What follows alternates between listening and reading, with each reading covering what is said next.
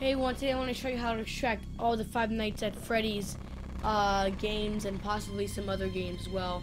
Made in the same engine, Multimedia Fusion 2.5 or Pixel Fusion 2.5. I don't know, but um, important thing to know: if you're gonna do some uh, texture slash sound whipping of another game, don't publish it online or if you do, give credit because the person probably didn't want that to happen unless you're the person yourself. Now, uh, you want to have Net Framework 4.5. Um, you want to download the extractor.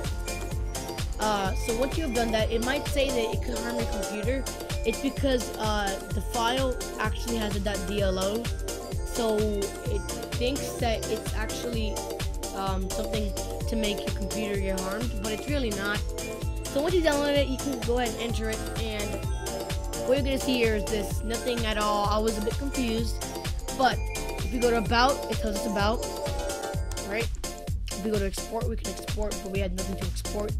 Um, you got, you want to go to File, Open, and you want to find a place to uh, find the Five Nights Freddy's games. So mine is in Program Files 86, Steam, Steam apps, common, and then I have Five Nights at Freddy's 1, 2, 3. For the sake of today, I'm going to export all the sounds of Five Nights at Freddy's 2. So I'll double click in the folder and I will open this. So if it's supported, it should open up. And metadata is basically telling you the title, the author, output path, and the project path. And this is Scott's desktop Five Nights 2, Five Nights 2, 69 MFA.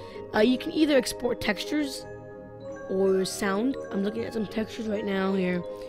Uh, see textures, but I don't want textures. I want actual sounds. Same goes for textures as well. Same process. If you were to uh, export textures, you would go to export all sounds or textures. It doesn't matter. I'm gonna go to sounds here. I'm gonna browse for a folder. FNAF sounds. Open it in there. It's gonna start export. Don't touch anything. Don't touch anything. Um, if it, the program is not gonna respond, don't do anything. If it says it's not responding, don't touch a button until it says all done right here, like we have right now.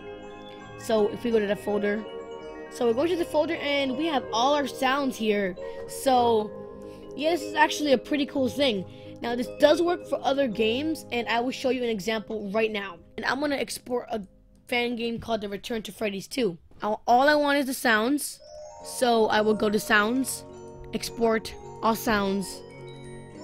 Um, I'm gonna find the exact same place where I want to export it. Uh, if this ever happens, then I wouldn't do anything. I would still wait a little bit. I would still wait.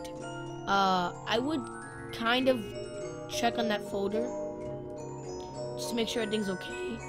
Um, I don't want to quit. I want to wait a little bit, you know, just in case. And this, these are the sounds to Freddy Fazbear. So they are the sounds. If it ever happens, try it again. Anyways, thank you guys for watching. I'll see you guys next time. Bye.